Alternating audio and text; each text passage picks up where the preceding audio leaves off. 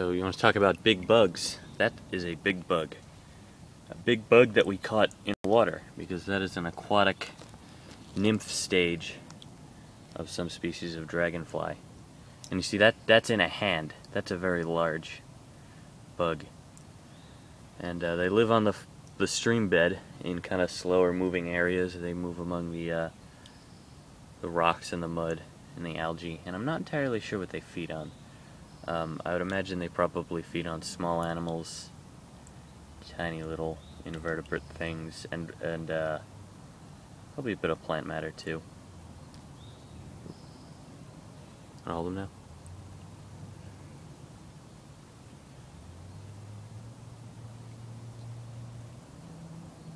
That's pretty cool, huh? Yeah. You can let them go now if you want.